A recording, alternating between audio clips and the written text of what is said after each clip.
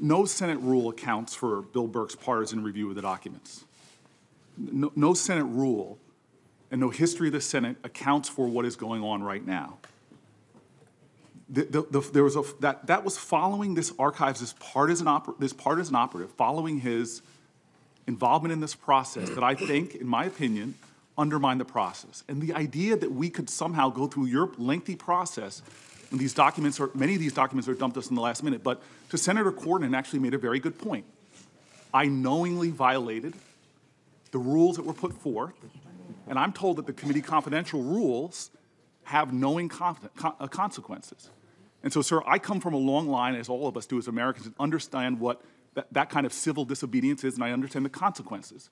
So I am right now, before your, before your um, process is finished, I'm going to release the email about racial profiling. And I understand that, that the penalty comes with potential ousting from the Senate. And if Senator Cornyn believes that I violated Senate rules, I, I, I openly invite and accept the consequences of my team releasing that email right now. And I'm releasing it to expose that number one, the emails that are being withheld from the public have nothing to do with national security, nothing to jeopardize the sanctity of those ideals that I hold dear. Instead, what I'm releasing this document right now to, to show, sir, is that we have a process here for a person, the highest office in the land, for a lifetime appointment. We're- We're rushing through this before me and my colleagues can even read and digest the information. Can I This- ask you, and- can I want- I ask you, can I ask you how long you're going to say the same thing three or four times? No, sir, I, How- I, I'm how long- saying, I'm how long do you want to I'm take? saying I'm knowingly violating the rules. Okay. Senator How Cornyn many has called times me out gonna- for it. how many I- I times you say gonna that- tell us Sir, that? I'm saying, I'm saying right now that I'm releasing, I'm releasing committee confidential Mis- documents. Mr. Chairman, I'm, Chairman, since, since the senator Chairman. invoked my Can name, I- I do can I I- insist on an opportunity to respond. Yeah. Yeah. I did not mention his name, Okay. but he had mentioned my name, and he's right.